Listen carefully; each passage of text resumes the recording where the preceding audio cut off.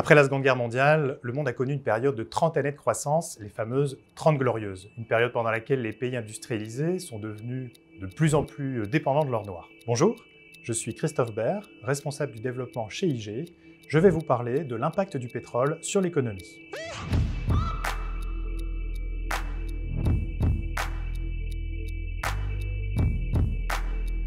À l'époque, plus des deux tiers du pétrole consommé en Europe est importé depuis les pays du Moyen-Orient. Le pétrole se négociait alors à très bas prix. Ces mêmes pays, qui étaient conscients de leur statut euh, privilégié sur la ressource, euh, ont décidé entre 70 et 73 d'augmenter les prix et donc de quasiment doubler le prix du baril.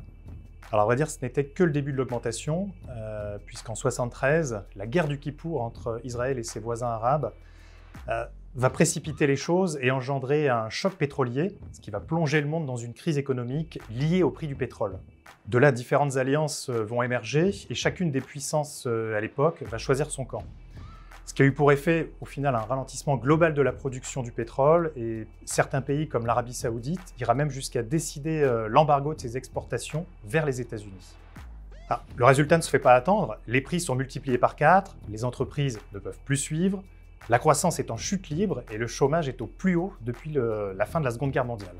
Alors quelques années plus tard, en 79, cette fois-ci c'est l'Iran qui fait sa révolution euh, islamique, qui va doubler les prix du baril, et cela va à nouveau créer euh, des tensions et donc un nouveau choc pétrolier.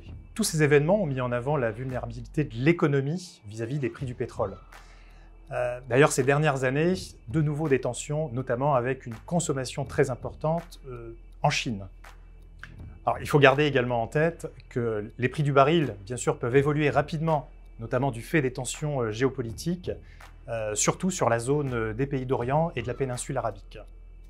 Le pétrole étant un composant dans pas mal de nos, produits, notamment de consommation de notre vie courante, mais également dans nos déplacements, il est facile d'en déduire que plus les prix sont hauts et plus cela aura un impact et tendance à jouer sur notre pouvoir d'achat.